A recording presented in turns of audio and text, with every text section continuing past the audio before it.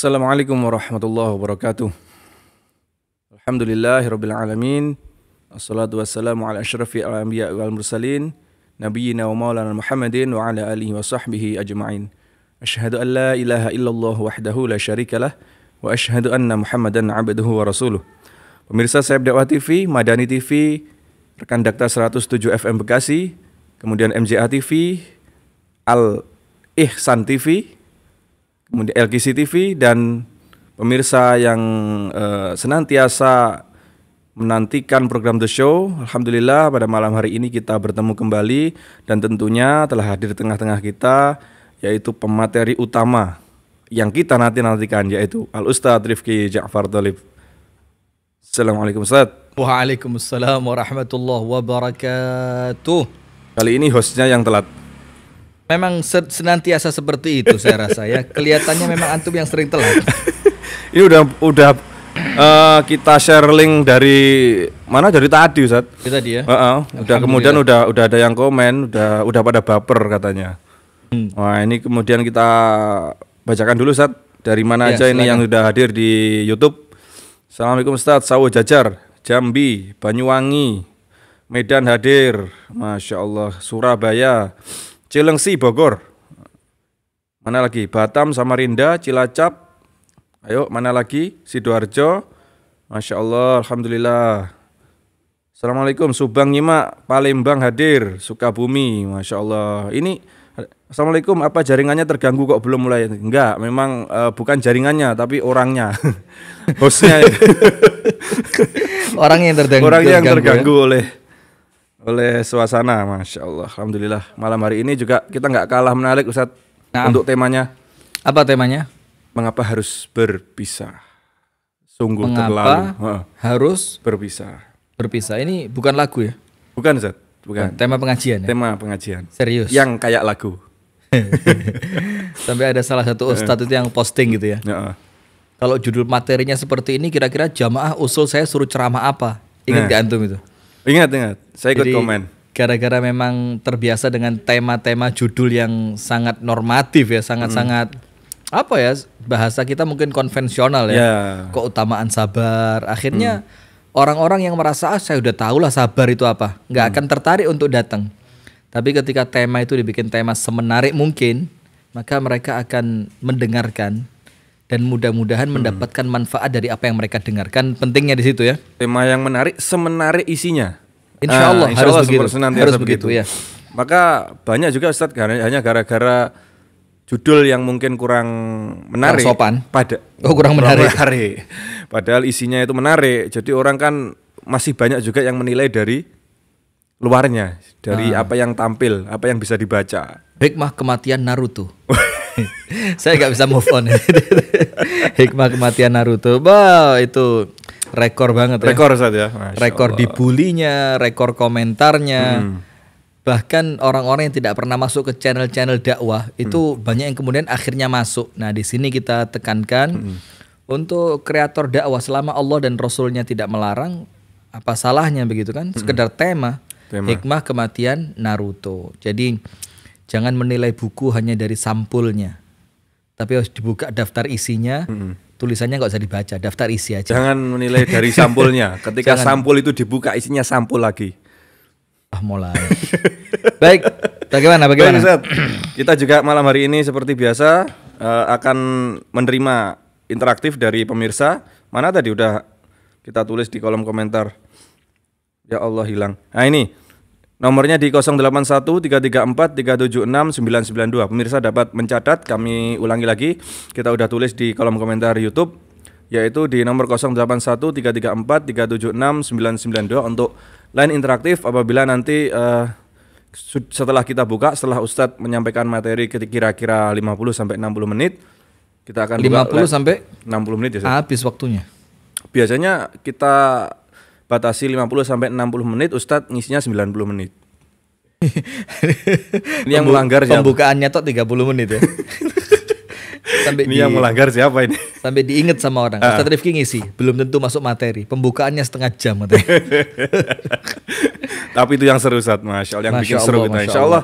Uh, kita tidak akan berlama-lama lagi. Kita akan langsung mulai. Kita serahkan sepenuhnya kepada Ustaz Rifki Ja'far Talib. Jazakumullah khair wa barakallahu fikum kepada Al-Akh Abu Shanum atas apa yang telah disampaikan membuka acara kita di The Show malam hari ini. Pemirsa Madani TV di mana pun Anda berada, pendengar sahabat rekan Dakta FM 107 Bekasi di mana pun Anda berada, Kemudian pemirsa LKC TV di mana pun Anda berada dan tidak lupa pemirsa Sayap Dakwah TV di mana pun Anda berada. Puji dan syukur Alhamdulillah kita haturkan kepada Allah atas limpahan nikmat yang Allah karuniakan kepada kita.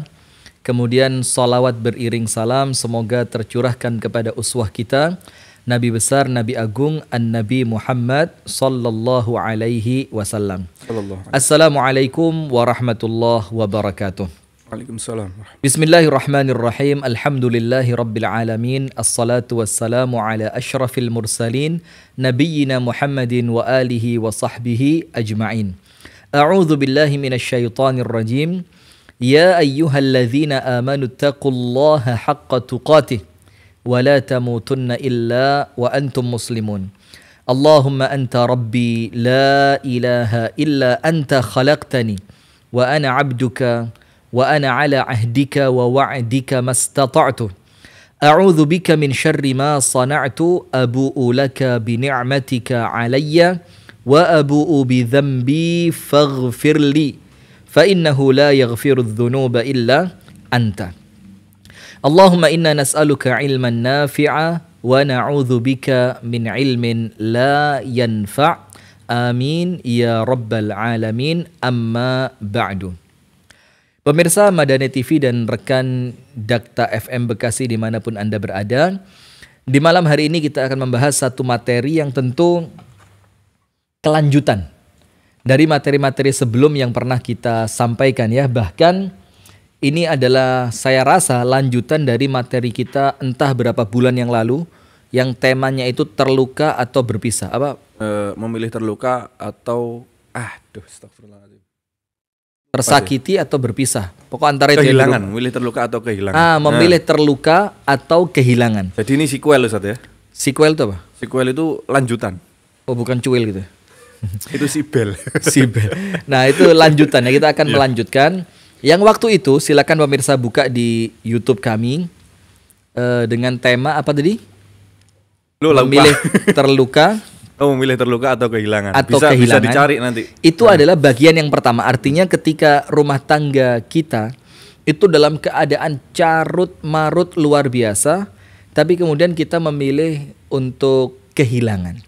Nah, sekarang bagaimana kemudian agar pilihan kehilangan itu kita tiadakan, tapi kita akan terus mempertahankan rumah tangga kita dengan kondisi seperti apa pun. Bisa? Insya Allah bisa.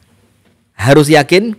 Bisa. Maka kalimatnya judulnya sekarang adalah Kenapa ah, harus berpisah? Berpisah. Artinya ketika ada pilihan untuk tidak berpisah, kenapa Anda pilih berpisahnya begitu loh. Mm -hmm. Nah, maka kami sampaikan tema di malam hari ini untuk ikhwan wal akhwat muslimin wal muslimat untuk pemirsa Madani TV, untuk rekan Dakta FM Bekasi di mana pun Anda berada, yang mungkin tema ini sedang Anda alami dalam rumah tangga Anda. Karena kita ketika posting di fanpage kita, fanpage kita ya, itu langsung tulisan komentarnya bagaimana?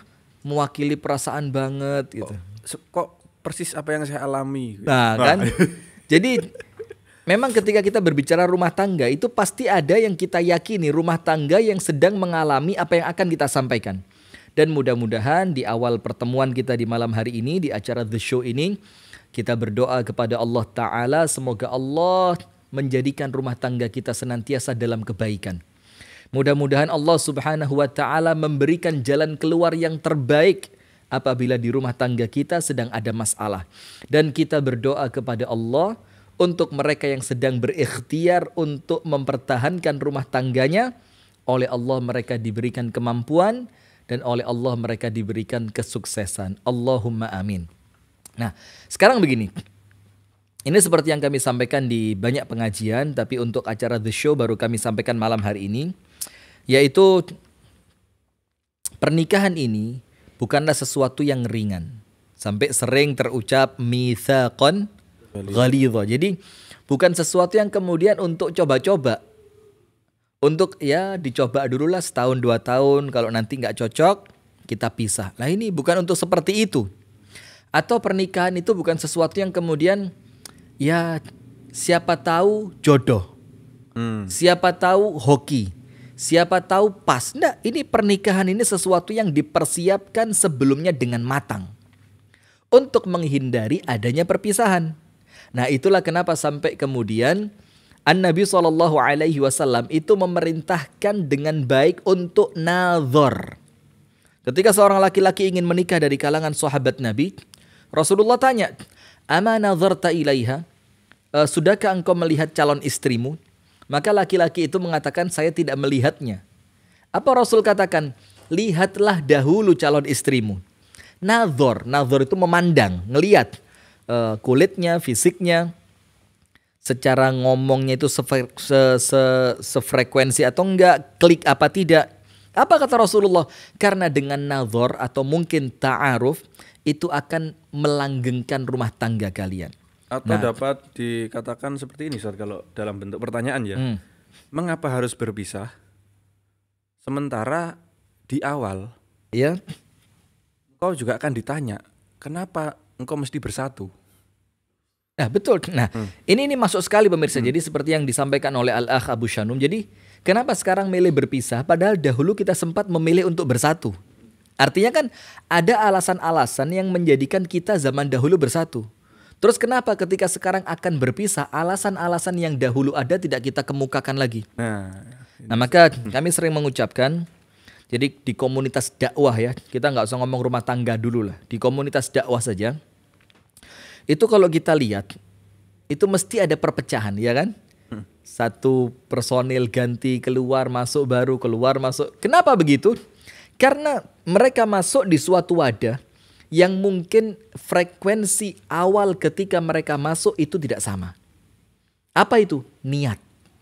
Maka ketika orang itu niatnya sama ikhlas karena Allah lillah wa fillah untuk Allah dan di dalam jalannya Allah maka ketika terjadi masalah gampang. Kembalikan ke niatan awal. Antum niat di sini mau ngapain? Antum niat gabung dengan kami mau ngapain? Antum niat beli kamera untuk apa? Antum niat ceramah secara online seperti ini untuk apa? Ketika semua dikembalikan pada niatan awal, maka insya Allah akan kembali normal ketika orangnya masih lurus. Nah sama seperti pernikahan yang antum barusan sampaikan, ketika mulai muncul niatan untuk berpisah, Kenapa tidak dikembalikan pada tujuan awal ketika antum dulu menikah? Nah, sudah. Nah, maka begini. Uh, Rasulullah mengatakan, kenapa engkau tidak melihatnya? Padahal dengan melihatnya akan lebih melanggengkan rumah tangga. Kenapa Rasul mengatakan melanggengkan rumah tangga? Karena nikah ini bukan untuk sehari dua hari. Nikah ini bukan seperti orang pacaran ketika nggak cocok ditinggal. Nikah ini bukan kemudian, ah udahlah ringan lah kan dalam Islam ada syariat cerai. Betul memang ada syariat bercerai, tapi kemudian syariat ini bukan untuk orang-orang yang ingin berdalih atas kesalahan yang dia lakukan. Paham nggak? Ya.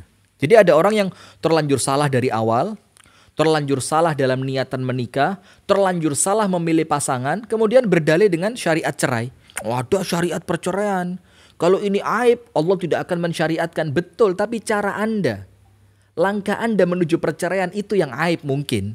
Mungkin ya. Nah, maka sampai kemudian Allah Subhanahu wa taala itu menunjukkan kekuasaan Allah yang luar biasa. Itu salah satu contoh yang Allah tampakkan supaya kita mengerti Allah itu maha kuasa itu dengan pernikahan. Nah, ini ayat yang kita baca kemarin kan? Wa min ayatihi dan di antara tanda yang menunjukkan kekuasaan Allah an khalaqalakum min anfusikum azwaja. Allah ciptakan pasangan untuk kalian. Untuk apa ya Allah? Litaskunu ilaiha supaya kalian tenang ketika kalian mendapatkan pasangan itu. Kemudian waja'ala bainakum mawaddata wa rahmah. Kemudian Allah jadikan di antara kalian berdua itu ada mawaddah, ada rahmah. Allah ulang lagi. Wa inna fi dzalika la ayatil liqaumin yatafakkarun. Itu ada tanda yang menunjukkan kebesaran Allah untuk orang yang mau berfikir. Di awal Allah bilang apa? Wa min ayatihi di antara tanda kuasanya Allah. Di akhir ayat, inna fi dzalika ayat. Ini merupakan tanda. Dan ayat awalnya dan akhirnya itu ditengahi dengan apa? Pernikahan. Sampai Rasulullah mengatakan pernikahan itu separuh agama. agama. Terus mana mungkin? Antum tahu nggak? Nikah itu ambil porsi 50%. 50% sisanya itu sholat, puasa, haji, akhlak, apalagi sedekah, silaturahim. Ini ibadah yang banyak itu mencakup 50% dan hanya satu ibadah pernikahan itu dapat porsi 50%. Besar, luar biasa. Nah, maka kita ingat sekali ya eh, guru kita bersama Ustadz Heru dari Surabaya. Itu sampai beliau mengatakan untuk urusan sholat saja ibadah yang cuma lima menit sampai detik ini kita ilmunya belum tuntas. Itu ibadah yang kita lakukan cuma lima menit. Tahiyat itu yang benar tangannya bergoyang apa jarinya bergerak atau diam. Kemudian telunjuk itu dikeluarkan itu ketika at-tahiyatulillah atau ketika asyhadu alla ilaha itu sampai sekarang kita masih belum tuntas gitu itu hanya sekedar untuk ibadah yang lima menit Terus bagaimana untuk rumah tangga yang selamanya kita niatkan beribadah kepada Allah lewat rumah tangga ini. Nah maka Poin yang pertama yang perlu pemirsa tahu, tidak gampang memilih perpisahan itu adalah perkara yang tidak mudah. Karena pernikahan ini sesuatu yang besar. Pernikahan ini memegang porsi 50% dari ibadah dan agama Anda. Pernikahan ini Allah Ta'ala mengatakannya sebagai perjanjian yang besar yang akan kelak dipertanggungjawabkan di hadapan Allah Subhanahu wa Ta'ala. Maka jangan gampang-gampang udahlah cerai aja. Kayaknya kalau saya pisah lebih nikmat deh hidup saya. Maka saya sempat tadi sebelum acara live dimulai, hmm. anak ngomong sama Al-Akh Fevri sama Al-Akh Arif gitu. Ketika banyak akhwat-akhwat yang mulai curhat gitu ya. Hmm. Bahkan tema belum keluar, apa eh, materi belum keluar, baru judul, hmm. itu udah pada curhat. Sampai kemudian saya ngomong gini aja lah, kita ngomong sama akhwat-akhwat itu udah cerai aja sekarang, malam ini cerai aja. Udah cerai aja. Kalau kalian yakin kalian bakal bahagia, cerai sekarang juga. Biar nggak terus hidup kalian penuh dengan keluhan. Suami saya Ustadz, istri saya Ustadz, mertua saya Ustadz, rumah tangga saya Ustadz. Ketawa penangis itu. Apa? Anu, kesabapan. Kenapa? Kesabapan. Apa kesabapan itu? Uh, kesabat. Apa? Apa ya? Kena kena kesurupan. Kes, kena imbasnya ya kena imbasnya curhat ya. ikut nangis Eh, bukan, ya, ini kan ya? oh, mencontohkan, saja. Jadi, oh. jadi artinya ketika anda terus berpikiran cerai, cerai, cerai, pisah, pisah, pisah, kenapa nggak sekarang aja udah? Kalian gitu ya. Kalian tenang hidup kalian, bahagia, nggak ada suami yang repotin, nggak ada istri yang cerewet, bisa bebas keluar rumah kapan pun dan di mana pun tidak ada yang cari. Kenapa nggak sekarang aja? Nah, tapi bukan itu yang kita inginkan. Yang kita inginkan bagaimana rumah tangga yang telah kita bina ini, kok bahasanya kita bina ya? Kayak saya nikah yeah. sama pemirsa aja ya. rumah tangga yang telah dibina ini hmm. agar kemudian tidak binasa. Dibina agar tidak binasa. Wah, ini Bisa keren. jadi judul berikutnya. Bisa jadi judul berikutnya. Nah, sudah. Words of the night. Itu poin yang nah. pertama yang ingin saya sampaikan. Jadi jangan main-main dengan pernikahan. Sampai pun cara memilih pasangan yang pertama itu oleh Rasulullah betul-betul dicontohkan agar tidak menyesal kemudian. Sudah. Sekarang poin yang kedua, kenapa harus berpisah? Saya ingin membuka memori Anda. Saya ingin membuka memori pemirsa dan rekan dakta di mana pun Anda berada. Begini, orang tua kita, orang tua kita dalam keadaan pendidikan yang mungkin tidak setinggi kita ada yang mungkin cuma lulusan SD. Ada yang mungkin cuma lulusan SMP. Ada yang mungkin cuma lulusan SMA. Ada yang mungkin cuma bakalarios BA. Hmm. Ada yang bahkan sampai S1, bahkan ada yang sampai tidak sekolah SD. Hmm. Itu orang tua kita ya. zaman yeah. dulu ya. Bayangkan, bayangkan. Kemudian begini. Kemudian dengan minimnya ilmu yang mereka miliki, tentu yang kita maksud ilmu dunia ya, tapi kalau ilmu agama kan ya mungkin ngajinya lebih bagus, ibadahnya lebih bagus, sabarnya lebih kuat, mungkin begitu kan. Dengan taraf pendidikan mereka yang rendah, Secara akademis ini. secara maksudnya. akademis, dalam keadaan pula di zaman itu rata-rata ekonomi tidak semapan orang sekarang, dengan minimnya fasilitas yang mereka punya, dengan anak-anak banyak yang mereka senantiasa rawat setiap harinya, ternyata mereka bisa mempertahankan rumah tangga. Sam- sampai sampai apa namanya? Kalau eh, anaknya itu tambah banyak tambah bangga gitu ya. Bangga dan Kalau sekarang kan enggak ini. semakin sam- bahagia. Sampai kemarin kita sempat bahas child free itu ya. Sam- Ah, child karena free. merasa sumpek dengan urusan rumah. Heeh. Sampai terus akhirnya sampai akhirnya memutuskan sampai tidak memiliki anak gitu. sampai memutuskan tidak punya anak. Heeh. Oh, ya udah, lah child terus, free ya, saya terus, sampai terus, lupa maksudnya sendiri. terus gini, terus gini Sat, pertanyaannya gini. Duh, kalau memang eh, menikah itu nggak mau repot, loh, terus ngapain dilakuin gitu loh? Kan pasti repot gitu masalah. Iya, tapi kan masalahnya kan Eh. mereka tetap nikah nah itu. dalam keadaan mereka memutuskan tidak memiliki anak gitu loh. Karena mereka anggap anaknya yang merepotkan bukan Iya, pernikahannya. Iya, bukan pernikahan. Ya jadi nggak nyambung antum. Ya, iya sih ya. ya apa sih hari ini? Nah, begitu.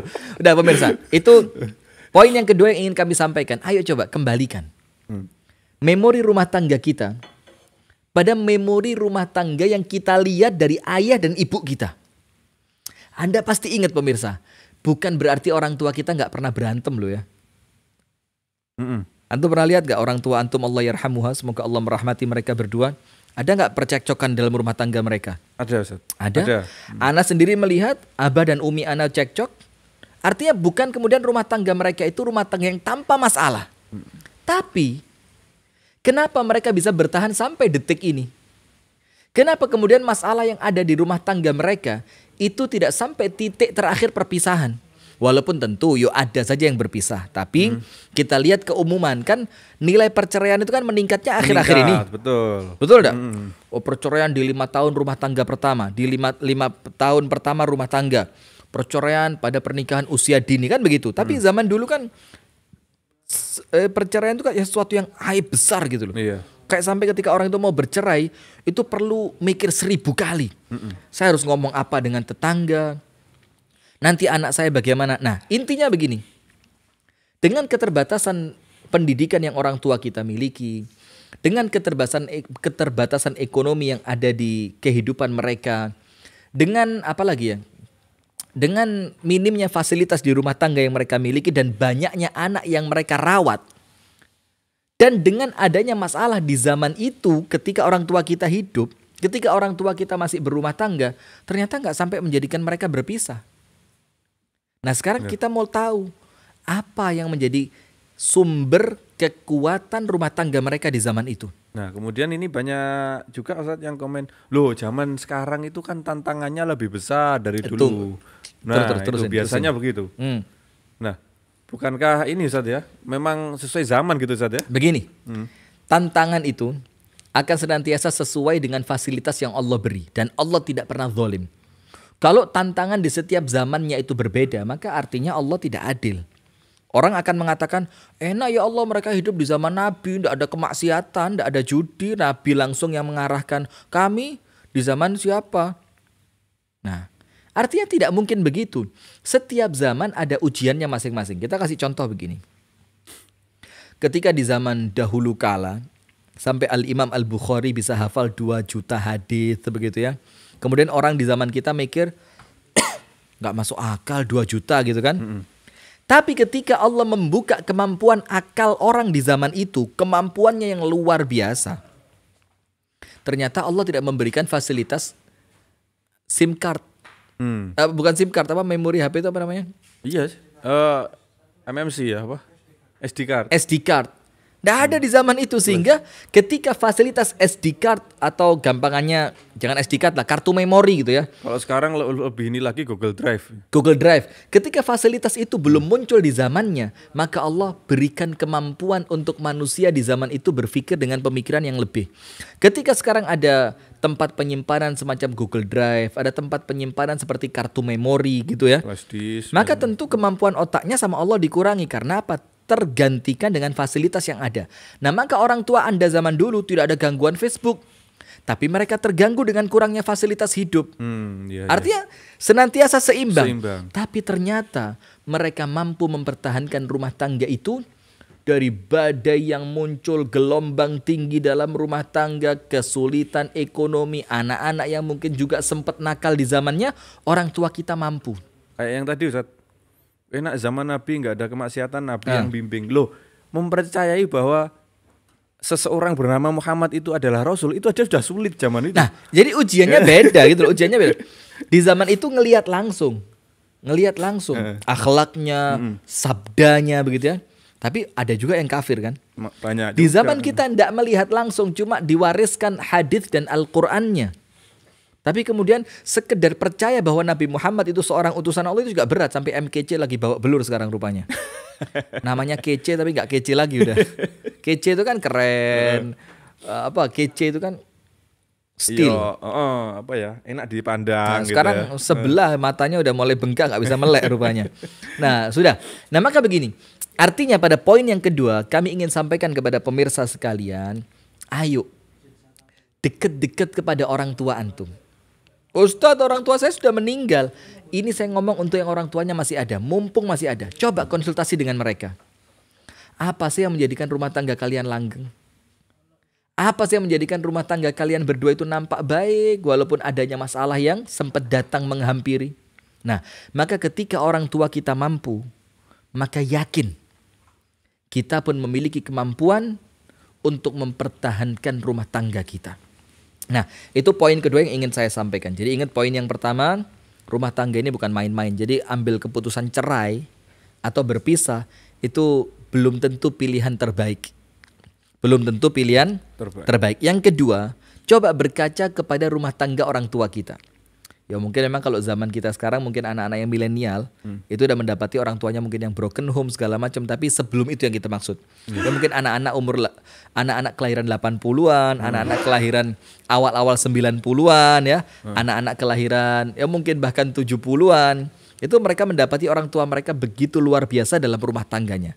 Nah, maka berkaca dari mereka.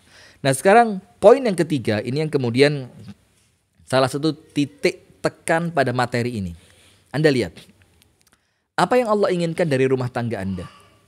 Ini pertanyaan penting dan Anda harus bisa menjawabnya. Coba coba. Apa yang Allah inginkan dari rumah tangga yang Anda bina sekarang? Ayo jawab jawab. Iya Anda ada. Udah kok bengong? Ayo dijawab. Bingung dia. Coba antum jawab. Saya sudah jawab, Ustaz. Antum nggak dengar Oh, gitu. oh, iya. Coba apa kira-kira kalau antum satu aja apa kira-kira dari rumah tangga kita ini Allah ingin apa sih? Ya ingin bahagia, Ustaz. Ah, kita. betul. Yang pertama Allah menginginkan kebahagiaan dalam rumah tangga. Nah, ketika Allah menginginkan kita bahagia dengan rumah tangga kita, ingat ada sisi di mana apa yang Allah inginkan kita bahagia dengan rumah tangga, litas kunu ilaiha. Tapi antum jangan lupa. Ada setan yang berdiri berhadapan pada posisi yang VS. Versus. Allah ingin Anda bahagia, setan kepingin Anda sengsara. Allah kepingin Anda tertawa dalam rumah tangga itu, sementara setan ingin menjadikan Anda menangis. Allah menginginkan supaya Anda mendapatkan rumah tangga yang ibadah, setan merusak ibadah di dalam rumah tangga Anda.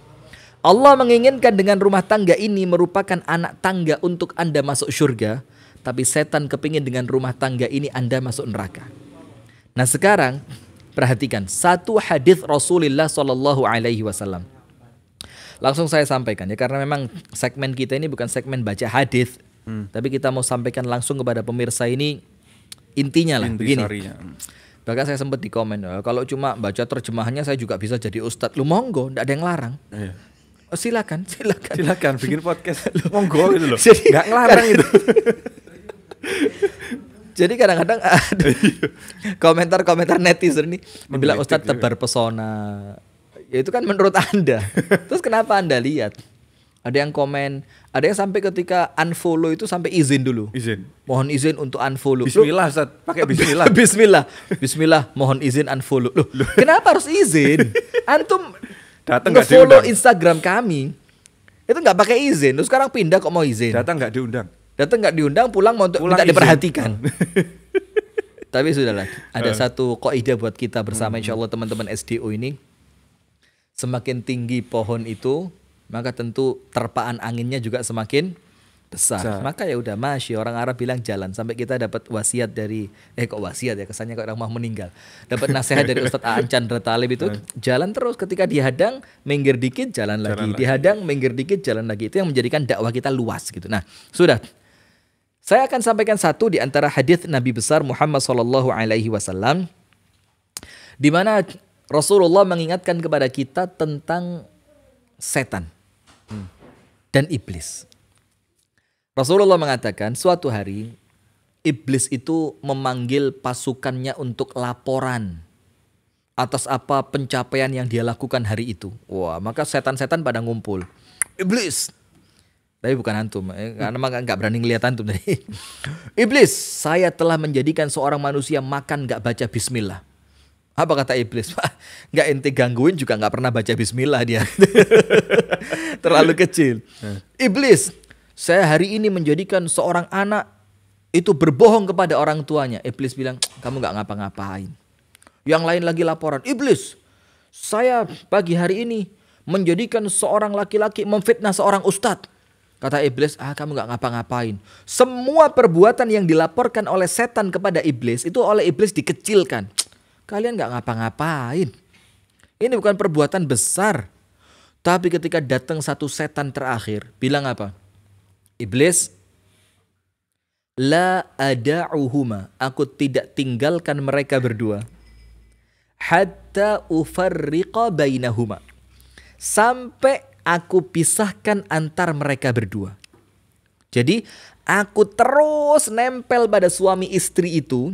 Ketika mereka hubungan suami istri tidak baca doa, aku tempelin. Ketika mereka masuk rumah, masuk rumah gak baca doa, aku masuk ikut ke rumah bersama mereka. Ketika mereka akan makan, mereka gak baca bismillah, aku ikut makan bersama mereka. Aku ikutin terus rumah tangga mereka ini tidak pernah aku tinggal. Sampai kapan? Hatta ufarriqa bainahuma. Sampai aku jadikan mereka bercerai. Cerai. Ya Allah. Apa kata iblis? Ni'ma anta. Engkau yang terbaik. Kamu yang aku cari katanya iblis. Ini loh ditunjukkan kepada teman-teman yang lain. Ini loh baru pegawai yang keren. Ini best employee in the years Wih, of the years. best employee. Apa enggak tahu lah bahasannya apa. Kok jadi malu sendiri ya. Karyawan terbaik. Ah, Karyawan karyawan teladan. terbaik Ya. tahun ini, karyawan teladan. Apa itu pencapaian tertingginya? Memisahkan antara suami dan istri. Nah, maka di sini Anda ingat sekarang. Ketika Anda berpisah, dalam tanda kutip, Allah Subhanahu wa taala tidak menginginkan itu. Tapi ketika Anda berpisah, iblis tepuk tangan. Sukses. Yes. Separuh agama hancur. Separuh agamanya telah aku rusak. Mm-mm. Dan dia sekarang akan terus bermusuhan dengan mantannya dan aku akan langgengkan permusuhan itu. Jadi ingat Anda ingin menyenangkan Allah Ta'ala atau Anda ingin mensukseskan proyeknya iblis. Sampai-sampai sihir yang paling kuat, sihirnya Harut dan Marut itu apa? Yufarriqu ma bainal mar'i wa zauji. Itu memisahkan antara suami dengan istrinya. Nah berarti sekarang poin ketiga Anda perlu ingat. Munculnya perceraian dalam rumah tangga itulah proyeknya iblis yang iblis akan senantiasa mencari jalan supaya Anda ketika bercerai kesannya Anda itu benar. Hmm. Sampai kita sampaikan kan tadi sebelum live juga bersama Mas Dian. Kadang-kadang ada juga sih di antara penanya yang masuk kepada kita itu ya melalui line inbox atau DM. Itu yang mereka tanya, boleh nggak Ustadz saya bercerai? Itu niatannya sudah cerai dari awal. Hmm. Cuma mereka ingin mendapatkan pembenaran dari kita. Dan Anda nggak akan dapat itu dari saya insya Allah. Jadi ingin dapat pembenaran. Jadi ketika nanti ketika bercerai betulan, na'udzubillah, nas'alullah assalamu afiyah, maka DM dari kita akan ditunjukkan ke orang tuanya. Ini sudah konsultasi dengan Ustadz Rifki. Ini Ustadz Rifki bilang, cerai aja nggak apa-apa. Mudah-mudahan itu yang terbaik buat anti. Mumpung masih muda, siapa tahu nanti dapat jodoh yang lebih keren, lebih kaya, lebih soleh. Seperti saya. Oh, enggak nggak ada ya, itunya. Enggak, Nah, enggak ada itunya ya. maka hati-hati. Jadi ketika kita ingin menjadikan dalam tanda kutip menjadikan rumah tangga kita seperti apa yang Allah inginkan, tentu perlu perjuangan. Karena lawannya siapa tadi? Lawannya setan yang dia tidak akan berhenti membisikkan. Yang pertama, ditampakkan di hadapan istri keburukan suami. Atau sebaliknya ditampakkan di hadapan suami keburukan istri. Atau kemudian setan datang untuk menghembuskan cinta-cinta masa lalu ditumbuhkan kembali. Terus pokok apa pun setan akan lakukan. Inti terakhirnya setan kepingin Anda bercerai. Setan kepingin Anda bercerai. Nah, maka dari sini perhatikan. Setan itu hadirin dan pemirsa sekalian menginginkan kita masuk neraka itu dengan taruhan yang luar biasa. Apa taruhannya? Dia rela masuk neraka selamanya. Antum bisa bayangin. Ya Allah, aku rela masuk neraka selamanya. Tapi apa? Tundalah aku sampai hari kiamat. Aku akan sesatkan semua manusia. Terus apakah anda kira ketika setan sudah mempertaruhkan dirinya bakal diadab dalam api neraka selamanya. Terus setan itu ketika ganggu anda nggak serius. Ganggunya itu Guyonan. guyonan, bercanda, ganggu dengan gangguan yang receh. Nggak ada. Maka termasuk ancaman yang sedang setan incar saat ini. Itu rumah tangga Anda yang sedang di ujung tanduk. Ayo bertahan, fight. Apa fight? Bertarung. Ayo lawan gitu Lawan. loh. Ayo eh, tunjukkan bahwa Anda bisa melawan setan. Ayo tunjukkan bahwa jiwa Anda kuat. Ayo tunjukkan Anda perempuan kuat. Ayo tunjukkan Anda suami yang sabar. Jangan kemudian dikit-dikit saya udah nggak kuat Ustadz. Ini Ini. ngomong turun nangis disik. Jadi kita bingung ini apa gitu. loh. Ini istri saya udah yang kesekian kali Ustadz. Ini suami saya udah mukul saya yang kesekian kali Ustadz. Jangan menampakkan lemah. Ingat apa sabda Rasulullah. Setan itu kalau anda takut kepadanya, tawaham.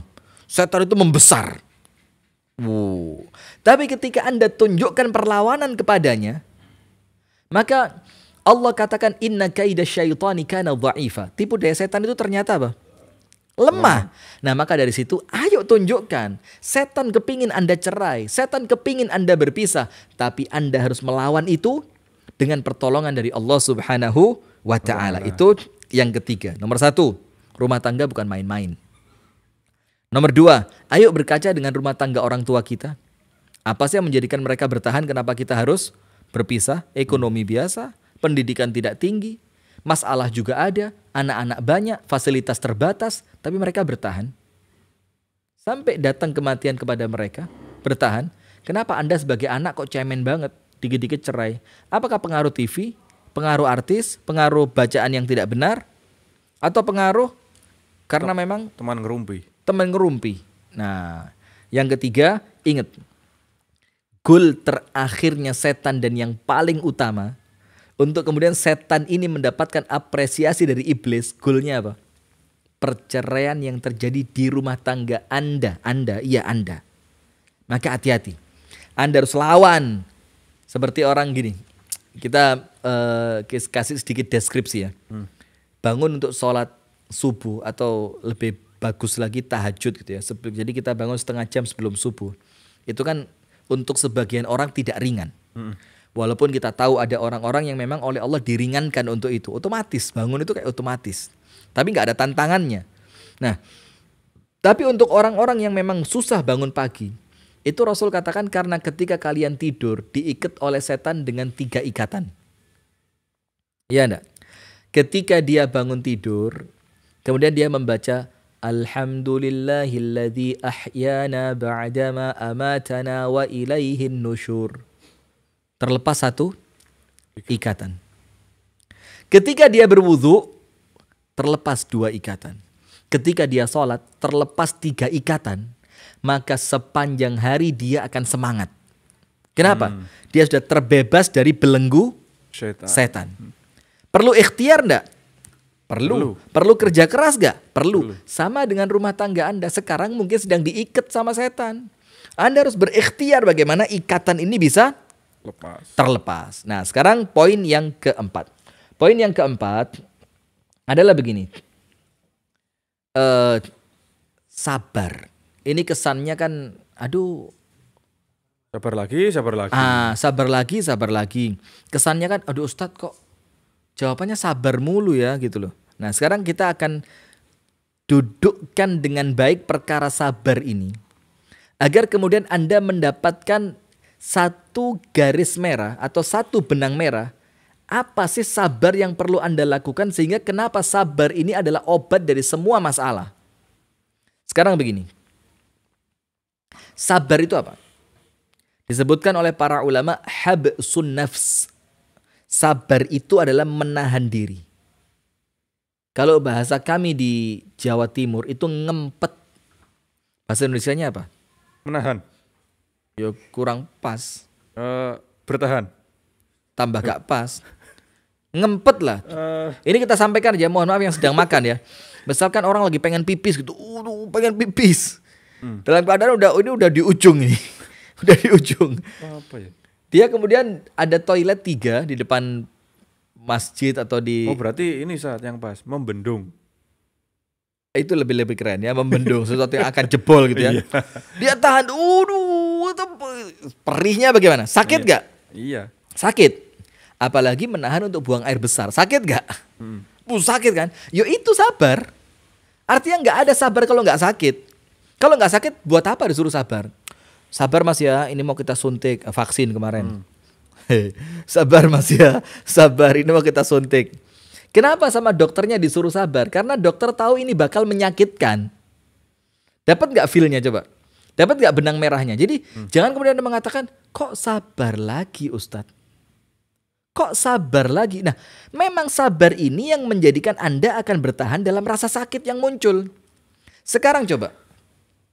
Sabar itu maknanya adalah habsun nafs, menahan diri. Dari apa? Dari ucapan ataupun perbuatan yang mendatangkan murka dari Allah. Sekali lagi, sabar itu menahan diri. Jangan sampai terucap dari lisan kita dan jangan sampai ter, ter apa terlihat dari eh, fisik kita itu ucapan atau perbuatan bahkan getaran hati yang mendatangkan kemurkaan dari Allah. Artinya orang yang sabar itu adalah orang yang menahan diri, jangan sampai ucapannya, jangan sampai langkahnya itu mendatangkan kemurkaannya Allah. Perlu perjuangan. Nah itu sabar. Dan sekarang Rasulullah mengatakan, eh, para ulama menjelaskan sabar itu tiga. Nomor satu, sabar dalam ibadah. Saya mau tanya sama antum, rumah tangga antum diniati ibadah nggak? Coba coba jawab dulu ini biar biar biar pas. Eh pemirsa Madani TV, rekan Dakta FM, jawab yang keras. Saya nggak dengar dari sini. Rumah tangga antum diniati ibadah nggak? Atau jangan-jangan kehilangan niat itu? Meluntur. Luntur gitu niatnya. Meluntur. Meluncur, bukan. Oh beda ya. Beda. ini meluntur. Meluntur itu memudar. Memudar. Atau jangankan memudar. Atau bahkan kita khawatir tidak ada niatan itu sama sekali. Nah, Nah, masalah. ketika Anda niatkan rumah tangga itu untuk ibadah, sementara para ulama mengatakan ibadah itu perlu sabar. Sabar. Hmm. Orang puasa perlu sabar nggak? Sabar. Sabar. Orang bangun malam sabar menahan kantuk. Orang tidak marah sabar menahan emosi. Jadi sabar dalam ibadah. Ketika rumah tangga Anda diniati ibadah, ya sudah, namanya ibadah ya pasti berat. Namanya ibadah pasti dilawan setan. Namanya ibadah pasti tidak sesuai dengan keinginan hawa hawa nafsu. Nah, maka perhatikan ini titik penting yang ingin saya sampaikan. Jangan-jangan keinginan Anda untuk berpisah cuma dorongan hawa nafsu. Coba diperhatikan. Serius saya ngomong ini. Jangan-jangan keinginan Anda untuk berpisah itu cuma mengiyakan dorongan nafsu saja. Coba ngomong dengan hatinya masing-masing. Jangan kemudian, oh enggak ini ini hasil hasil semedi setelah eh, 12 tahun saya nggak keluar gunung gitu. Wih, semedi dari mana? Nah, maka ketika Anda betul-betul meniatkan rumah tangga untuk ibadah perlu sabar. Yang kedua, sabar dalam meninggalkan kemaksiatan. Boleh jadi Anda ingin bercerai karena Anda ngincer orang lain nih. Hmm. Boleh jadi Anda bercerai karena Anda ngelihat ada orang lain yang lebih kaya nih. Boleh jadi Anda bercerai karena mungkin Anda lihat orang lain prospek jadi pejabat nih. Nah sehingga apa? Ketika Anda sabar untuk menghilangkan niatan-niatan buruk itu dengan mempertahankan rumah tangga Anda, maka Anda dalam kebaikan dan dalam ridhonya Allah dalam ibadah kepada Allah. Yang terakhir, sabar ketika mendapati takdir yang tidak baik. Ini juga masuk. Rumah tangga kita takdirnya siapa? Allah. Allah. Dulu yang milih yang milih jodoh siapa sih? Yang memilih istri antum dulu siapa? Ikhtiar ikhtiarnya Ustaz. Iya, siapa yang milih? Kalau saya orang tua. Ah, Susah. Tapi Maksud saya masih tapi yang- masih dikasih opsi. Nah, terus apa opsinya? Boleh menolak. Boleh menolak. Mm, Tapi antum tolak enggak? Enggak. Lah lah apa gak ditolak Bian? Lah kenapa ditolak? Nah ini, Nah, ini, ini, ini, yang perlu ini, kita ini. keluarkan. Ketika anda sekarang mau cerai, tanya diri anda dulu, Loh, kenapa dulu saya terima dia? Mm, mm, mm. Kok sekarang? Oh dulu kan nggak tahu Ustadz. Ah itu maka sekarang apa yang dulu anda tidak tahu, sekarang yang menjadikan anda tahu itu karena se- sama setan dibongkar. Oleh setan diapain? dibongkar. Dibongkar. Nah maka yang ketiga, sabar mendapatkan takdir yang tidak kita suka. Nah tapi ingat, senantiasa kita ulang, ma qadallahu li'abdihi qadaan illa kana khairan lahu. Tidaklah Allah menetapkan takdir untuk seorang hamba kecuali takdir itu pasti membawa kebaikan. Nah, maka sabar yang terakhir, sabar untuk rumah tangga Anda yang sekarang sedang diuji. Ustadz suami saya selingkuh. Anda bisa sabar kok. Bisa insya Allah bisa. Saya yakin ketika Anda sabar, Allah tidak akan mensia-siakan kesabaran Anda. Ustadz, suami saya kasar. Anda lihat kenapa dia kasar? Mungkin Anda belum melakukan apa yang dia inginkan. Ustadz, istri saya boros. Coba di- didekatkan dengan agama. Coba didekatkan dengan teman-teman yang baik. Coba didekatkan dengan majelis taklim. Ustadz gak bisa. Mertua saya terlalu ikut campur Ustadz. Coba cek. Apa yang masalah dengan rumah tangga Anda sampai mertua merasa perlu ikut campur. Nah, maka sabar ini betul-betul adalah jawaban dari pertanyaan Anda yang sekarang Anda ingin berpisah. Kenapa harus berpisah? Apa Anda kira sabar itu ringan? Berat.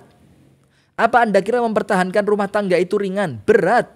Apakah Anda kira orang lain yang nampaknya rumah tangganya baik, itu mereka tidak ada masalah? Ada masalah. Tapi kemudian mereka berikhtiar untuk sabar. Mereka berikhtiar untuk tidak mengungkapkan. Mereka berikhtiar untuk menutupi. Mereka berikhtiar untuk memperbaiki. Sementara mungkin Anda masalah yang kecil terlalu dibesar-besarkan. Anda fokus dengan masalah itu dan Anda lupa dengan kebesaran Allah yang senantiasa melindungi Anda. Nah maka coba jangan terlalu lebay lah. Jangan manja, jangan ngalem, jangan apa lagi? Jangan manja, jangan ngalem, jangan Jangan loyo. loyo seperti kemarin ya sate itu ya. jangan kolokan kalau bahasanya orang Jakarta ya. eh, eh. Jadi ayo fight gitu loh. Gak bisa Ustaz ini udah jalan 4 tahun Ustaz ini udah jalan lima tahun. Empat tahun kok anda kuat? Kenapa sekarang Oh, anda iya, nggak kuat benar, tiba-tiba? Heeh. Apa yang menjadikan anda kuat selama empat tahun? Kenapa apa yang menjadikan anda kuat selama empat tahun tidak anda lakukan untuk empat tahun berikutnya? Untuk empat tahun berikutnya lagi, untuk empat tahun berikutnya lagi. Karena apa? Yakin Allah senantiasa menjawab setiap apa kebaikan yang dilakukan oleh seorang hamba. Nah, maka ingat. Kenapa harus berpisah? Karena mungkin Anda kurang sabar. Bahkan ada istilah begini. Ini istilah dari teman kita ya. Antum inget ini, antum ini waktu kurang lima menit. Antum Iya. ingetin untuk teman-teman yang akan masuk line interaktif. Betul Ustaz, Eh, lanjut dulu. Mau, mau cari nomornya. La haula wala quwwata illa billahil aliyyil azim. Astaghfirullahaladzim. udah, udah ini lewat. Udah kelewatan Oh, kedorong lewat, oh. kedorong Udah anu ya. disiapin tadi. Begini. Hmm. Yang ingin saya sampaikan di sini,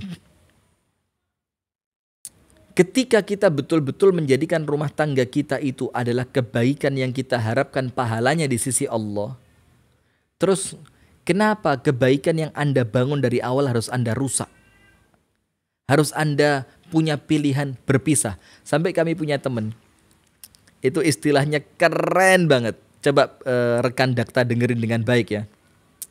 Ketika ada salah seorang teman kami yang kemudian Allah takdirkan berpisah dengan istrinya dia bilang apa? Saya tidak sabar dengan sebagian cara dia mengekspresikan cintanya kepada saya. Uh. Saya ulang ya. Uh. Jadi kenapa kok kita tanya, kenapa kok sampai cerai? Hmm. Dibilangnya jawabannya gini, karena saya tidak sabar. Tetap ya ada kalimat tidak sabarnya. Berarti hmm. kalau ingin bertahan ya harus sabar. sabar. Saya tidak sabar dengan sebagian cara dia ketika mengekspresikan cintanya kepada saya. Keren. keren Jadi keren. Hmm. apa pun yang istrinya lakukan itu ekspresi cintanya istri kepada dia. Tapi ternyata ekspresi itu dia tangkap sesuatu yang berbeda dengan apa yang dia inginkan. Hmm. Akhirnya dia merasa apa? Tidak sabar. tidak sabar. Nah, ada nomornya dapat sudah? Sudah, set. Baik, antum ingetin.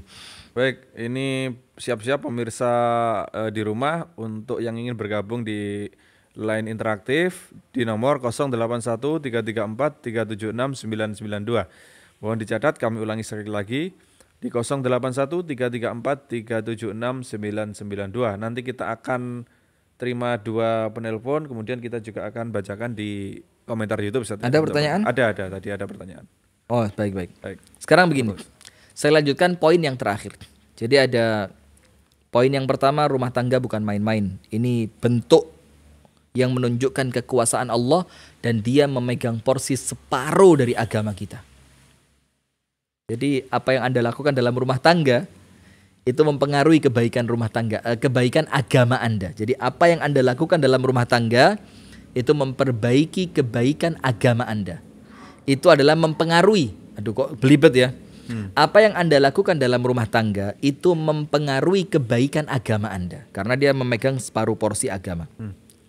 Yang kedua, coba berkaca kepada orang tua kita. Aman, insya Allah, tenang, baik, santai. Orang tuanya ibadah, orang tuanya taat, orang tuanya sabar. Yang ketiga, jangan lupa, perceraian atau perpisahan itu proyeknya siapa? Proyeknya setan, hmm. proyeknya iblis. Dia kepingin Anda berpisah. Dulu tidak kelihatan Ustadz. Iya, sama setan ditutupi dulu buruknya supaya Anda menikah. Setelah menikah sama setan buruknya dibuka supaya Anda berpisah. Nah maka tolong jangan gampang-gampang berpisah karena setan semakin sukses dia. Ntar semakin jumawa dia. Dan lawan saya katakan lawan. Sampai banyak riwayat itu melawan setan dengan fisik. Hmm. Ada yang sahabat melemparnya dengan batu, ada yang dipukul dengan tangan.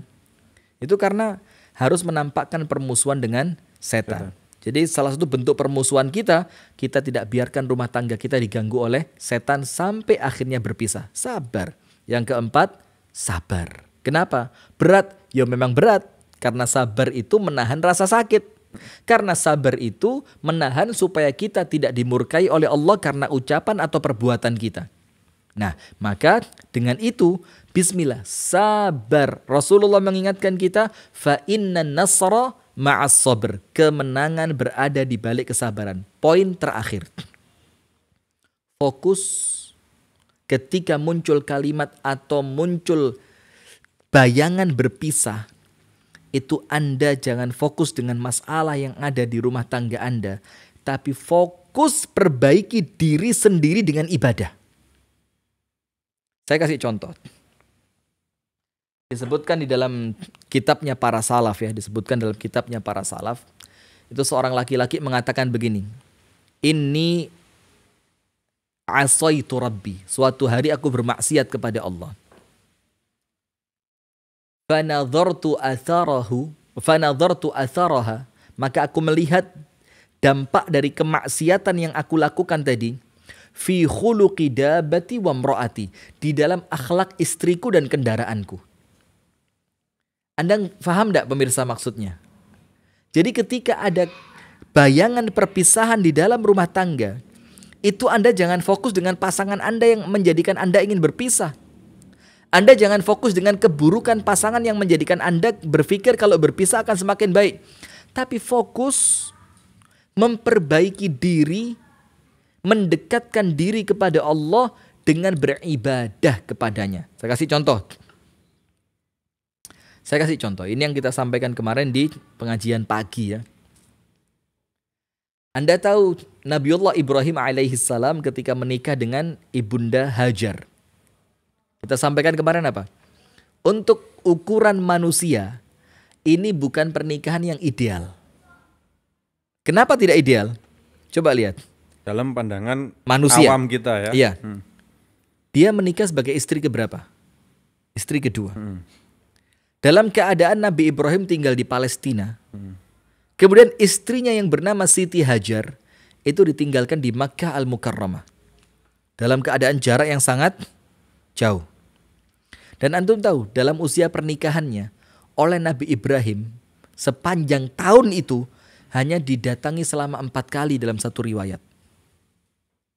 Ketika ditinggalkan hanya diberi sekantung kurma dan sebotol air. Hmm. Ideal nggak itu? Sangat-sangat tidak ideal. Pertanyaannya, kenapa Siti Hajar tidak berpisah dengan Ibrahim alaihissalam? Kenapa? Coba kenapa? Sabar. Bukan di sabarnya. Ya Bukan memang sabar, tapi Sabar, ya. begini. Ketika Nabi Ibrahim meninggalkan ibunda Hajar, mulai menjauh, ibunda Hajar berteriak, "Ya Ibrahim, wahai suamiku Ibrahim, Allahu amaraka bihada? Apakah Allah yang memerintahkanmu melakukan ini?" Apa kata Nabi Ibrahim? Iya. Allah yang memerintahkanku melakukan ini. Terus apa yang terjadi? Ibunda Hajar mengatakan, "Idzan lan yudayyi'anallahu abadan." Kalau begitu, Allah tidak akan pernah mensia-siakan kami. Kenapa begitu? Dia tidak fokus kepada Ibrahim yang meninggalkannya. Tapi dia fokus dengan Allahnya. Dia fokus dengan bagaimana aku meng- memperbaiki hubunganku dengan Allah. Nah, maka dengan itu Nabi Ibrahim juga menyertakan Allah dalam rumah tangganya. Apa itu? Nabi Ibrahim berdoa, Rabbana inni askantu min dhurriyyati biwadin ghairi dhi zar'in inda baitikal muharram Rabbana liyuqimus salat. Ya Allah, wahai Tuhan kami, ingat. Ini rumah tangga yang kalau gambaran manusia bakal cerai loh ya. Ditinggal jauh.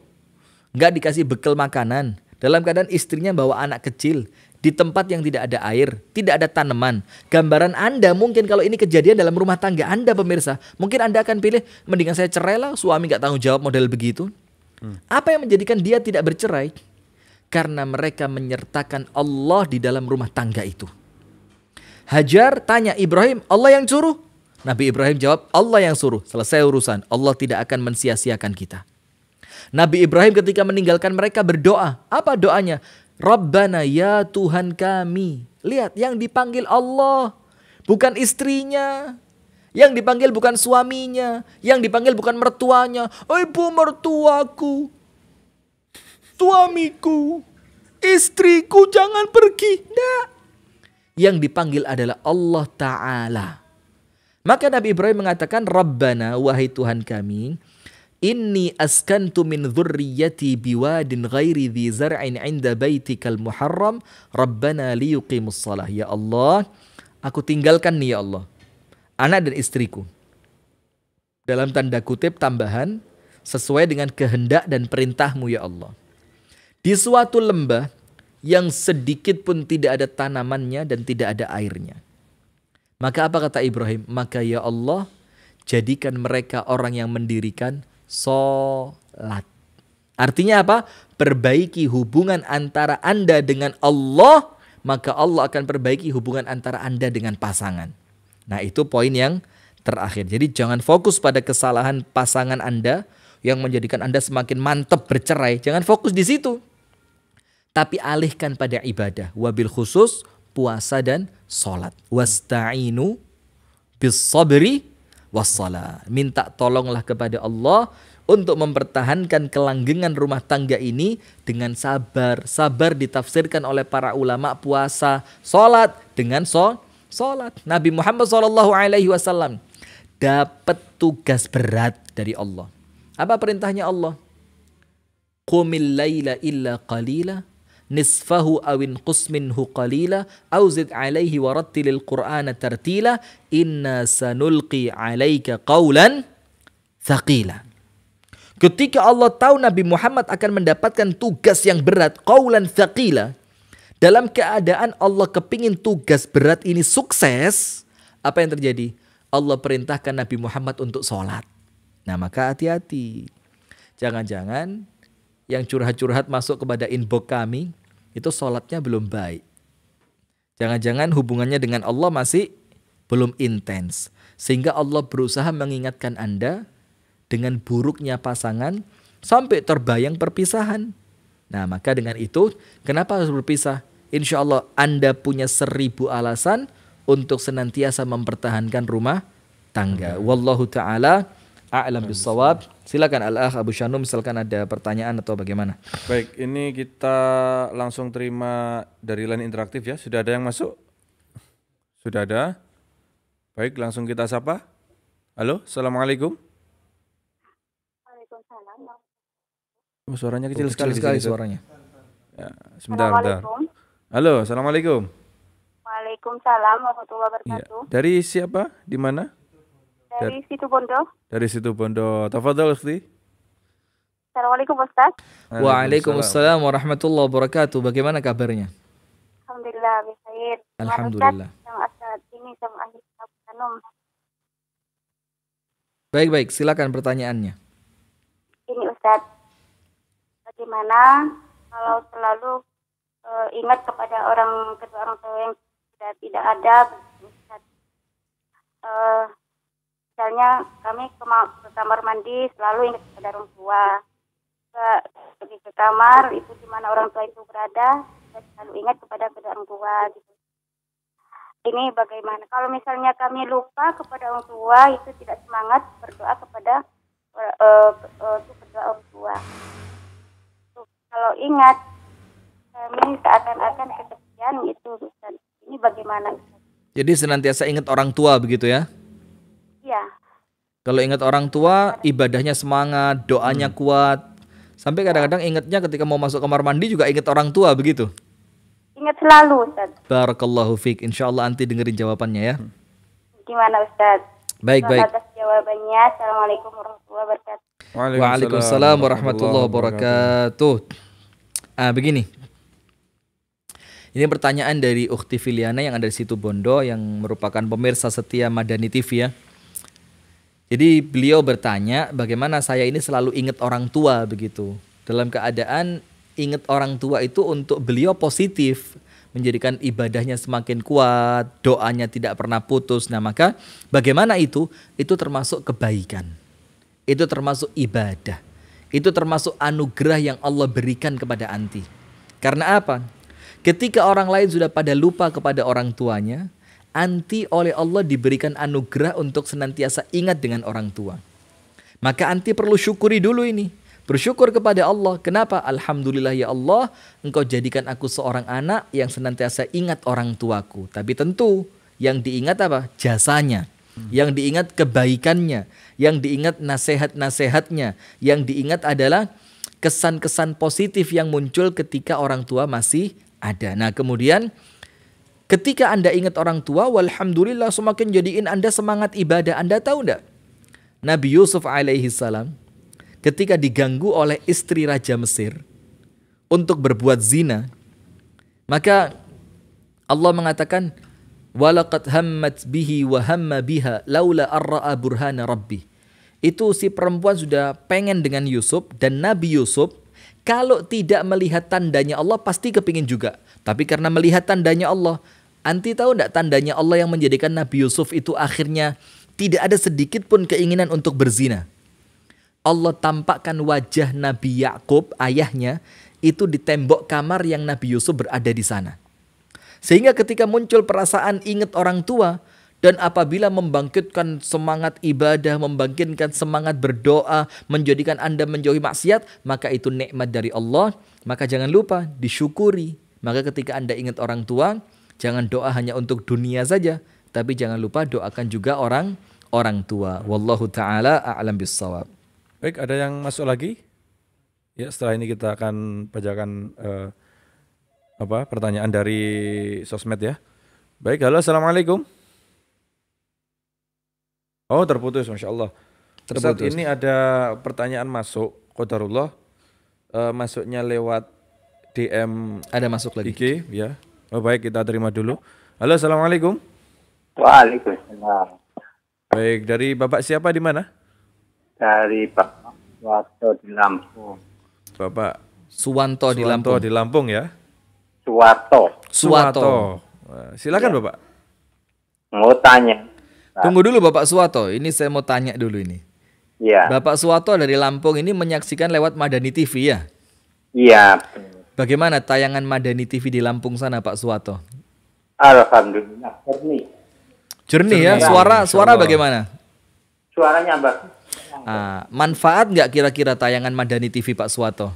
Lebih dari manfaat. Barakallahu fiik, jazakumullah khair. Mudah-mudahan ini men- menambah semangat kami untuk senantiasa menampilkan konten-konten yang bermanfaat. Allahumma amin. Terima kasih. Silakan Pak Suwato pertanyaannya. Ya mau tanya. Ini gini. Saya ini kan sudah lima tahun. Sakit stroke. Allahu akbar. Nah, ya udah. Udah lumayan.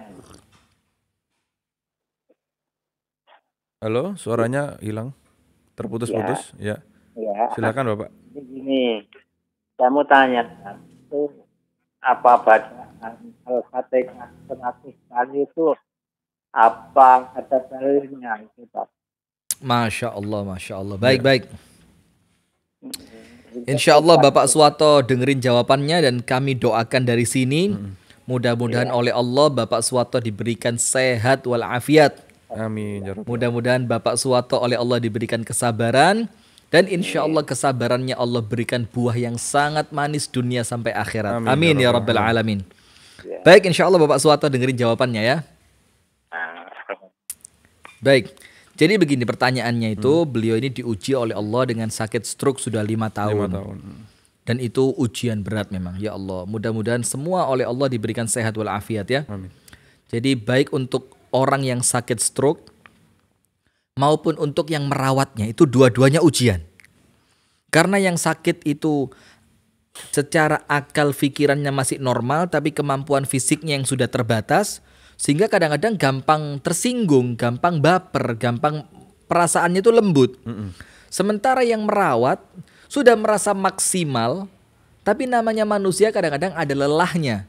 Maka kadang-kadang terjadi percekcokan. Maka saya doakan yang pertama mudah-mudahan oleh Allah Bapak Suwato dan yang bersama Bapak Suwato oleh Allah diberikan kesabaran. Nah, kemudian pertanyaannya, bagaimana dengan bacaan surah Al-Fatihah 100 kali? Begini Bapak Suwato, barakallahu fiik. Sependek pengetahuan kami, Al-Fatihah itu memang adalah syafiyah, penyembuh. Bahkan Al-Imam Ibnul Qayyim Al-Jauziyah itu ketika sakit, beliau mengobati dirinya dengan air yang dibacakan surah Al-Fatihah dengan niatan sebagai obat. Dan alhamdulillah beliau sembuh. Dan beliau resepkan surat Al-Fatihah ini kepada orang-orang yang sakit dan banyak di antara mereka yang sembuh. Tapi kemudian membatasi jumlah hitungannya sekian ratus, sekian puluh, sekian belas itu perlu dalil. Apa artinya? Ketika Bapak Suwato membaca Al-Fatihah dengan niatan sebagai obat, malah tanpa dihitung, wes sebanyak-banyaknya, malah boleh. Tapi ketika Bapak Suwato menentukan jumlahnya harus 100, nah pertanyaannya 100 ini dari mana gitu loh. Nah maka yang kami sampaikan, Wallahu ta'ala a'lam bisawab, silakan dibaca surah Al-Fatihah tanpa menentukan jumlah tertentu.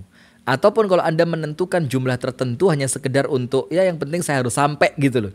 Harus sampai sekian. Ya silahkan tapi kemudian jangan diwajibkan. Barakallahu fiik. Semoga bermanfaat Bapak Suwato. Baik, ini kita langsung bacakan dari kolom komentar YouTube dulu, Ustaz. Ada pertanyaan masuk lagi. Ini Kita sudah terima dua. dulu. Satu lagi, satu, Satu lagi. Siap. Kita terima dulu.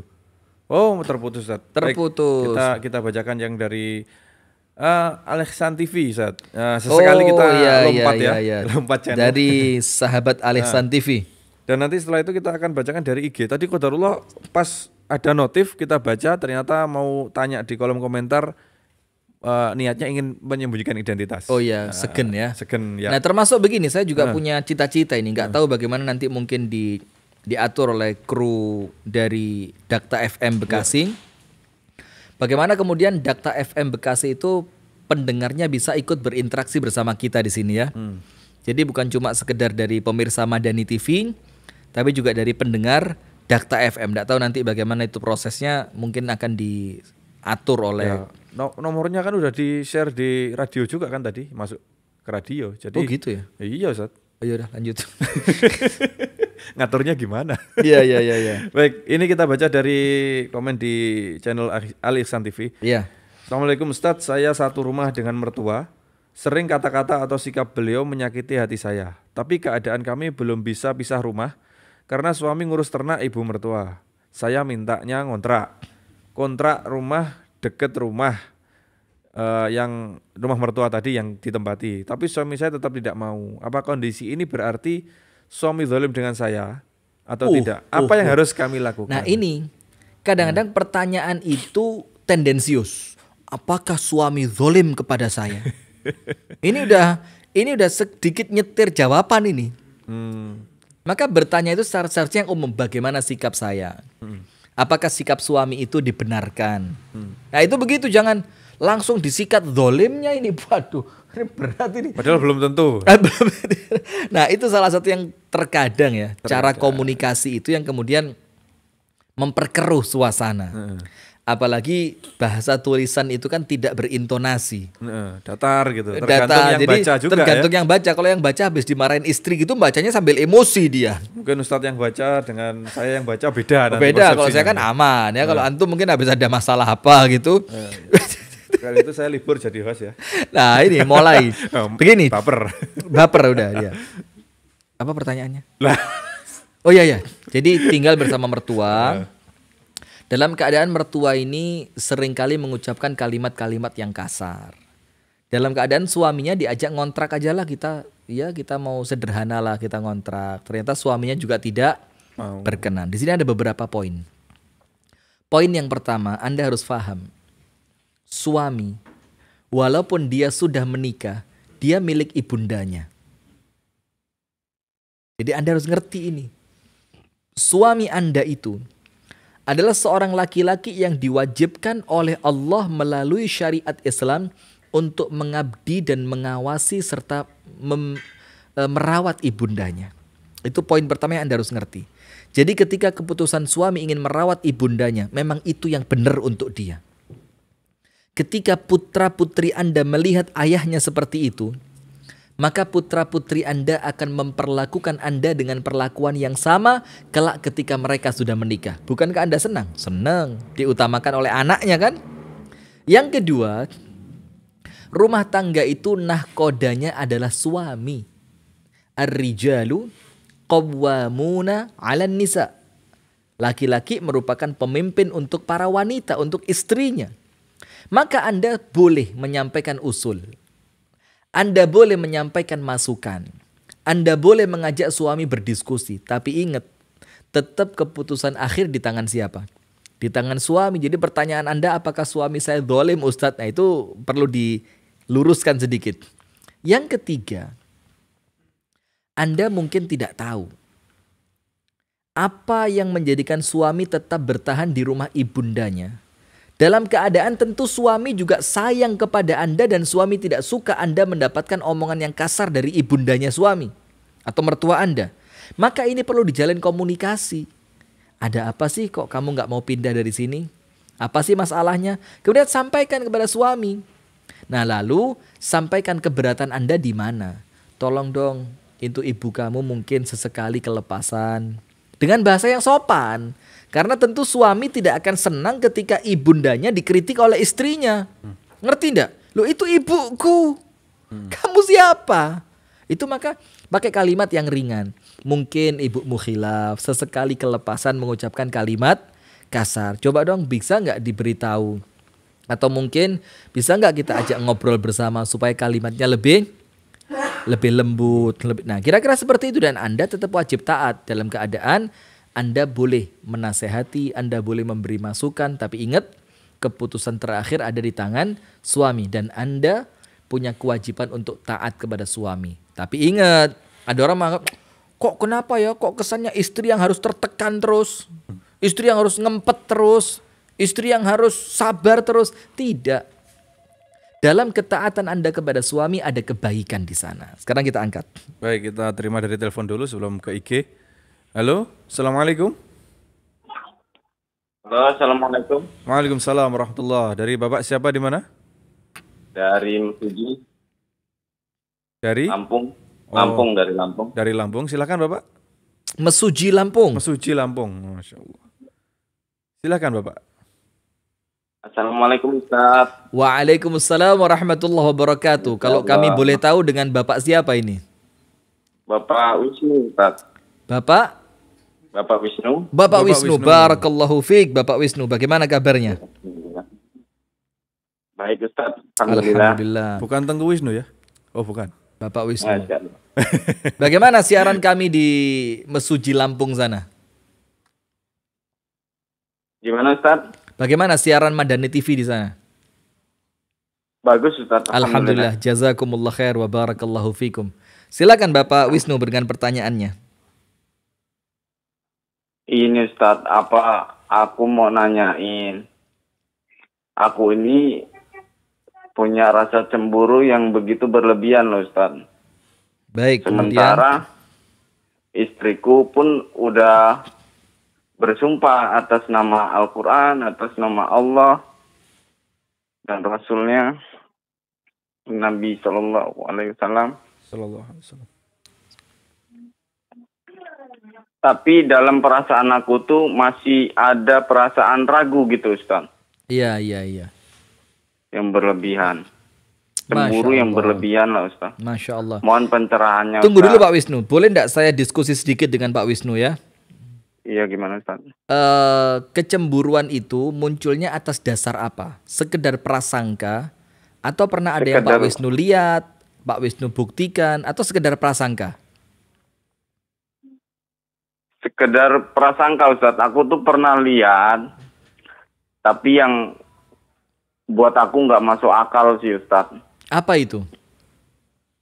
Cuman lihat begitu aja, maksudnya pas aku lagi pulang dari pasar, ya masih keluarga sendiri sih Ustaz. Maksudnya. Ah, baik baik. Tapi apa karena aku yang terlalu sayang sama Masya istriku, jadi Allah. Timbul rasa cemburu yang berlebihan gitu Ustaz. Siap Pak Wisnu. Insya Allah Bapak Wisnu akan dengarkan jawabannya. Mudah-mudahan bisa menjadi solusi. Amin ya Rabbal Alamin. Mohon pencerahannya Ustaz. Amin. Baik. Masya Allah. Begini. Ini, ini termasuk termasuk eh, luar biasa ya produk langka nih. Apa Terlalu itu? sayang. Iya memang. Dan eh, itu apa ya? Sesuatu yang mungkin tidak bisa dirasakan oleh orang lain. Heeh, heeh. Tapi ternyata ucapannya Pak Wisnu dalam, pertanyaan tadi itu kayaknya ter terasa kita feel-nya itu dapat ini betul-betul Pak Wisnu kayaknya sayang banget sama istrinya. Takut bahan kehilangan gitu. Ah begitu. Masya Allah. Sekarang begini Ya. Pak Wisnu, barakallahu fiik. Yang pertama, ini sedikit kita luruskan. Mudah-mudahan menjadi kebaikan untuk saya dan untuk Pak Wisnu juga. Amin ya rabbal alamin dan untuk seluruh pemirsa Madani TV dan rekan Dakta FM Bekasi. Yang pertama bersumpah itu hanya dengan menggunakan nama Allah Subhanahu wa taala. Tidak boleh menyetarakan Rasulullah Shallallahu Alaihi Wasallam di dalam sumpah seperti begini demi Allah demi Nabi. Tidak, tidak boleh. Cukup ucapkan apa? Demi Allah. Atau billahi tallahi wallahi. Karena apa? Apabila Anda menggunakan sampai sumpah atas nama Nabi, itu ada makna menyetarakan antara Nabi besar Muhammad Sallallahu Alaihi Wasallam dengan Allah Subhanahu wa taala dan khawatirnya terjatuh pada perbuatan kesyirikan khawatirnya maka cukupkan diri dengan bersumpah menggunakan nama Allah. Nah, kemudian yang berikutnya cemburu itu perkara yang terpuji. Tuh, ingat Pak Wisnu, ini perbuatan Pak Wisnu terpuji cemburunya. Tapi berlebihannya itu yang semua apa pun itu ketika sudah berlebihan maka tidak baik. Ada seorang laki-laki di zaman sahabat Nabi, kemudian dia uh, datang kepada Rasulullah. Ya Rasulullah, aku melihat istriku berzina. Masa aku harus datangkan tiga orang saksi? Aku yang keempat. Mana mungkin ya Rasul, aku akan undang orang lain untuk melihat istriku berbuat perzinaan. Aku akan bunuh laki-lakinya, kata si sahabat itu. Karena cemburu yang luar biasa. Rasulullah tidak mengingkari kecemburuannya. Tapi apa Rasul katakan? Innahu yaghar. Laki-laki ini cemburu kepada istrinya. Wa in wa inni aghar dan aku pun cemburu kata Rasulullah dan Allah taala yang maha paling pencemburu. Nah, maka artinya cemburu itu ibadah. Bahkan laki-laki yang kehilangan rasa cemburu kepada istrinya itu dayuth dan disebutkan Dayuth laki-laki yang tidak punya kecemburuan kepada istrinya itu tempatnya di neraka, nggak bisa masuk surga. Nah, tapi kata berlebihannya itu mungkin Pak Wisnu yang perlu di dikontrol. Nah, sekarang tinggal dilihat. Apalagi setelah kami tanya tadi, itu kecemburuan munculnya sekedar prasangka. Nah, kita perlu tahu inna ba'dadh-dhanni ithim. Sebagian prasangka itu mengandung dosa. Dan prasangka itu bisikan dari syaitan dan prasangka itu akan merusak keharmonisan rumah tangga kita. Maka hilangkan prasangka-prasangka itu, latih diri untuk percaya kepada istri dan si istri juga senantiasa diajak berkomunikasi dengan baik. Bahkan kalau perlu diajak ngomong terang-terangan. Ada apa sih? Kok aku cemburu sama kamu ya? Ada masalah di mana ini antara kita? Begitu Pak Wisnu. Jadi berlebihannya saja yang dikurangi, kemudian Anda berlatih untuk husnudon, untuk percaya kepada pasangan yang itu insya Allah semakin menenangkan Pak Wisnu. Amin ya Rabbal dan, alamin. dan bahkan Ustaz ya, Apa setan itu? tuh saking halusnya itu masuk ke dalam perasaan yang terlalu sayang tadi ya. Olah seolah-olah positif gitu ya. Nah, maka kalimat berlebihan itu loh di dalam perkara apa pun, ketika sudah berlebihan itu bahaya. Insya Allah kita bacakan yang dari DMIG Ustaz. ya. Baik, silakan. Bismillah Ustaz. Eh, pernikahan eh, Ustaz tadi sampaikan bahwa perpisahan itu proyeknya syaitan. Iya. Kemudian pernikahan saya sebelum akhirnya berpisah selamanya Yul, tunggu dulu kok selamanya. sudah meninggal. Jadi ceritanya, sebelum eh, meninggal suaminya memang sedang ada masalah, tapi saat itu belum tahu ada sesuatu yang disembunyikan. Iya. Jadi taunya itu setelahnya. Qadarullah almarhum suami meninggal dengan cara yang tidak wajar, tidak dijelaskan. Akhirnya setelah kejadian itu terbongkar semua sebab-sebabnya. Di satu sisi saya trauma, di satu sisi merasakan Allah sayang banget ke saya. Akhirnya jadi tahu semuanya, semua aibnya begitu mungkin. Iya. Yang mau saya tanyakan Ustaz, apa itu juga salah satu proyek setan sampai almarhum suami melakukan tindakan nekat? Baik. Tindakan nekatnya ini Ya, mungkin nekat ini sesuatu aib tadi. atau nekat meninggalnya dengan tidak wajar, tapi kita jawab secara umum aja ya. Secara Begini. umum ya. Saya punya cerita dari eh, sumber yang terpercaya, bahkan yang cerita langsung pelakunya. Jadi dia seorang wanita yang punya suami. Kemudian ternyata suaminya ini menikah lagi. Ya kan? Maka si istri ini marah banget sama suaminya. Dia kayak udah udah cerai lah saya. Saya mau cerai aja nggak kuat saya. Saya diduakan, saya dikhianati begitu. Seiring berjalannya waktu, belum sempat terlaksana perceraian itu, ternyata si suami menceraikan istri keduanya. Hmm. Entah karena masalah apa. Akhirnya si suami itu kembali kepada istri pertamanya. Sudah rumah tangganya baik dan si suami minta maaf. Maafin aku ya perempuan sebaik kamu kok sempat aku duakan. Kamu ini masya Allah istri yang sabar, istri yang baik, menerima semua kekuranganku. Nah, akhirnya muncul rasa cinta yang mengalahkan sebelumnya yang didapatkan oleh istri ini kepada suaminya. Dan Anda tahu, pas lagi sayang-sayangnya si istri dengan suaminya, Allah Subhanahu wa taala tidak mentakdirkan si suami ini berumur panjang. Pas keadaan istri sedang sayang-sayangnya. Dan satu yang saya ambil apa hikmahnya? Allah ingin menjadikan perpisahan Anda dengan suami dengan kesan yang sangat terbaik. Nah, maka sama seperti pertanyaan yang masuk lewat DM ini. Ketika suami Anda meninggal dalam keadaan Anda belum tahu apa yang dia lakukan, Anda sayang banget sama dia. Maka itu caranya Allah supaya rumah tangga Anda bertahan dan yang memisahkan hanya kematian. Jadi eh, sabarnya tadi di- dijaga sama Allah Ustaz ya? Dijaga sama Allah sehingga Allah tidak tampakkan suatu hal yang akan menjadikan Anda kehilangan kesabaran. Nah, maka Anda husnudzon sama Allah. Kenapa? Allah tutupi itu sampai suami Anda meninggal sehingga ketika dia meninggal dalam posisi hati Anda ridho kepadanya. Baru setelah itu muncul, nampak, terbongkar, terlihat dan hati-hati. Dia sudah meninggal loh. Dan Rasulullah mengatakan untuk orang yang sudah meninggal jangan diingat keburukannya. Tapi sebut apa? Sebut kebaikannya. Toh ketika Anda hidup Anda tidak disakiti olehnya. Anda tidak tahu apa-apa tentang perbuatannya, maka itu caranya Allah untuk Anda tetap husnudzon sama dia. Maka sekarang tobat kepada Allah. Hilangkan rasa benci kepada suami Anda. Munculkan sugesti-sugesti positif bahwa Allah telah menetapkan takdir ini untukku sampai kematian suamiku yang seperti itu untuk Allah menjaga hatiku. Maka karena Allah menjaga hatiku, aku pun ingin menjaga ketenangan suamiku di alam kuburnya. Sudah. Ya Allah. Jangan jaga, jangan Anda terus eh, rawat kebencian itu. Kesian suami Anda dan senang setannya akan terus membakar Anda. Jadi kira-kira begitu. Baik, sebagai- Wallahu taala a'lam bissawab. Sebagai pertanyaan penutup Ustaz kita baca dari Kok udah penutup? Iya, udah setengah sepuluh nih. Iya, iya, iya. kita baca dari eh, YouTube Madani. Assalamualaikum Ustaz. Saya Abu Muhammad dari Mojokerto. Izin tanya, berhubung saya belum nikah dan setan nutupi aib calon kami sebelum nikah, ya apa kiat-kiat untuk screening calon jodoh kita dan supaya gak gampang-gampang nantinya pengen pisah? Wih, screening. Kan di form ta'aruf itu ada ya. Emang corona screening.